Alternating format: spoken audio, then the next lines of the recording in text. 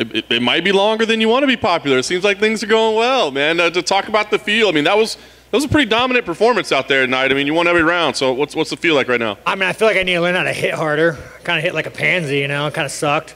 They're like, you know, you won the middleweight uh, striking record. It's like, what does that mean? I just can't hit that hard. That's funny. That's a funny way to put it, actually. We'll talk about like you know how things played out versus your expectation. I mean, it looked like a Sean Strickland fight out there, right? You were doing what you do, but I mean, did, did anything he do surprise you at all, or was different than you expected at all?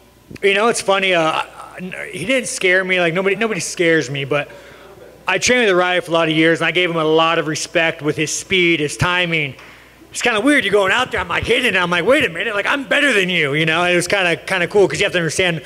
Uriah's a guy that I kind of looked up to coming up. You know, he's uh, about seven years older. Happy birthday, Uriah! His birthday, I believe. So he, he's a guy I looked up to, and, and going into that fight, it kind of meant something to me. You know, he's also a guy that you don't really feel too great about beating just because you like him. Was it a difficult mental challenge, like having yourself in the right mindset as you went in there based on those things? Oh, no, I, uh, it's funny. The moment he said yes to the fight, I hit him on Instagram. I was like, dude, I got to block you. Like, I, I got to learn to hate you a little bit. I got to want to hurt you, you know? Like, I got to I gotta put some distance between me and your friendship. But, uh, yeah, he, he's a savage. Yeah, in round one, like you started very quickly. I mean, you were absolutely dominant. And then it seems like at the start of like round two, round three, round four, he was having moments to start. Yeah. But then you finished strong every single round. So those those moments where he was starting to do good things, were you uh, was it throwing you off at all, or? No, like I, they're just flurries of like showmanship of like I'm gonna throw hard to the body, and then once I started kind of walking into him and really seeing that there's just nothing left in the tank, the dog was gone.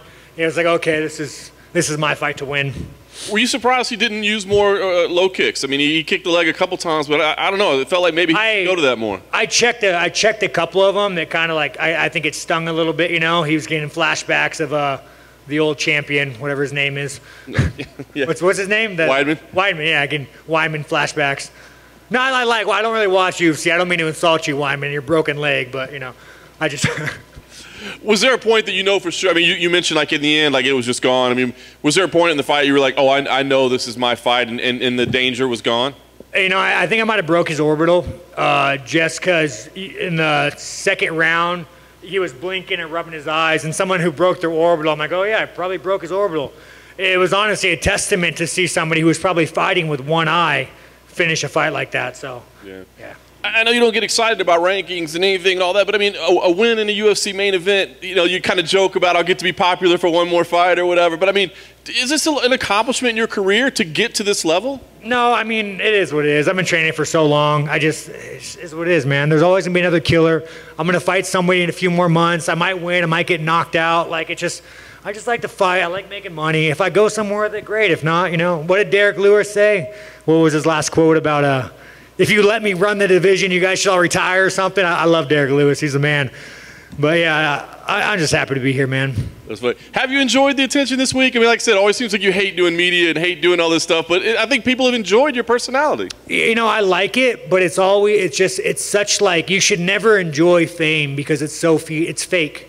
Like it's fucking fake. You know, there was a point Uriah Hall was in every interview, every media, Uriah Hall, and now it's like, you know, he's on the twilight of his career, he's getting older. It's like, it's just bullshit. You guys, I mean, you know, I like you guys all, but you know, it's all bullshit. You guys know this. I know, like you said, you, you, don't really care who you fight, but are there any matchups that intrigue you? Because you're getting to the point now where you, I mean, not that you'll call people out. I know you'll fight anybody, but are there certain matchups you think that's a fight I've always? I, I, I know like two names in the top ten: Brad Tavares because we trained together, and Israel Adesanya. So I mean, I, I don't really watch fighting, man. I just I like to do it. So should we make the headline? You call out teammate and yeah, champ? Brad Tavares. Fuck you. No, no. Brad Tavares has a good overhand. He might knock me out. Fucking Brad.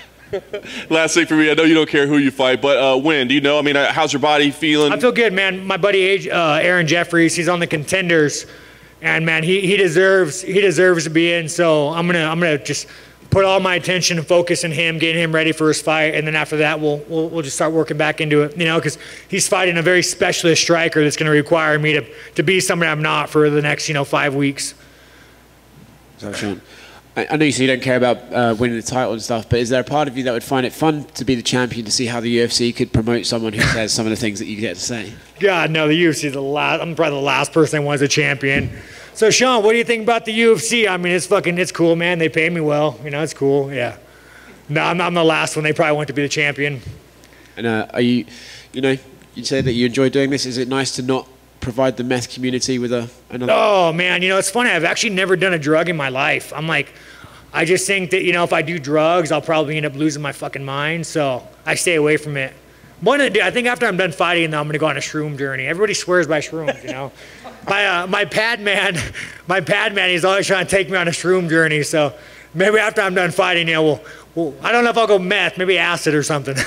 it's funny because at the beginning of that, I was like, oh, look, he's actually being a positive role model. But then you managed. No, no, I mean, I've never, I've never done drugs, you know. But here's the thing, dude. If you're not like, if you don't have a lot of issues, go do drugs, have fun, enjoy life. But if you're a guy who has addictive personality, you know, you watch too much porn, whatever you have to do, stay away from drugs, you guys. It's gonna fuck your life up.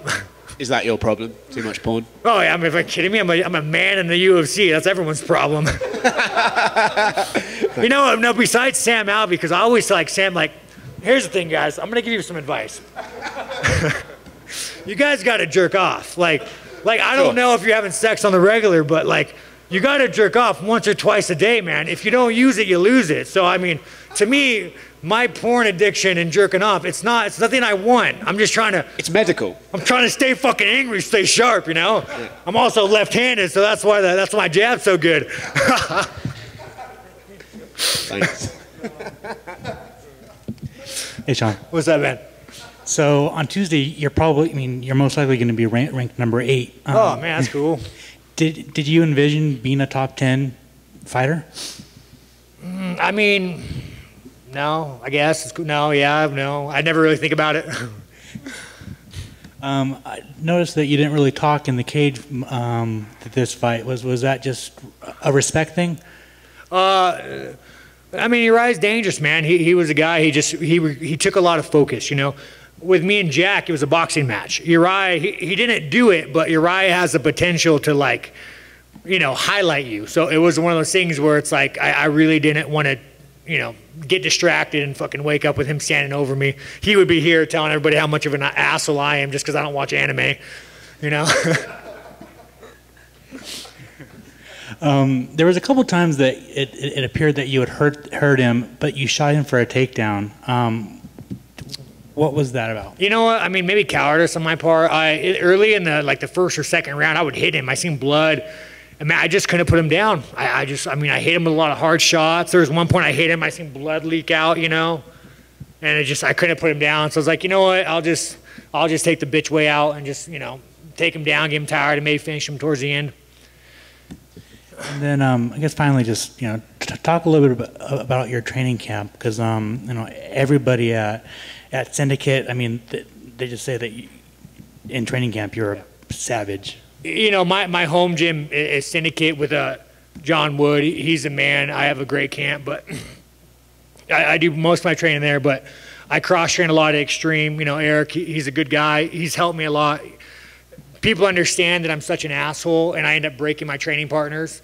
So it's nice to have a lot of a lot of cool guys say, "Hey, listen, Sean, I know you're a dick. Come on, I'll let you be a dick for one or two days and get the fuck out." You know. But uh, yeah, John Wood, Syndicate, they're, they're the best, man. He's the man. Um, and then finally, this, um, I'd, I'd, be remiss with asking that there, there's this dream matchup of you versus Kevin Holland because you guys are both talkers in the cage. Um, he's on a losing streak. You're on a four fight. Yeah, I mean he's not really somebody I'd, I'd want to fight just because you know you don't want to get you don't want to lose to a guy on a losing streak, right? You don't want to fuck up. No, I, I don't have really anything against Kevin Holland, but he probably should shut up and try to win a little bit more. I mean, you should, you know, talking works when you're winning, but when you're losing, bro, it's time to shut the fuck up and win some fights. Congrats. okay, guys. Anybody else? Oh, nope. One last one, Sean. Uh, how, if, in case I missed it or the post fight with, you know, the team, what was different between this Uriah and the one that you met years before his and you guys' client? I mean, you know, you're like, I was 20, 21, wasn't in the UFC. I, I would watch him, you know, I would watch him knock highlight guys on UFC. He'd be in the gym and he would knock guys out. I don't think there's anything different. You know, I'm just, I would think I'm just, I think I was just better. I don't, he, is not a guy that I like to insult. He, he's a great guy. He came out there hard. He fought a war. But I just think, I think I just, you know, I'm consistent. I train hard. I'm just better.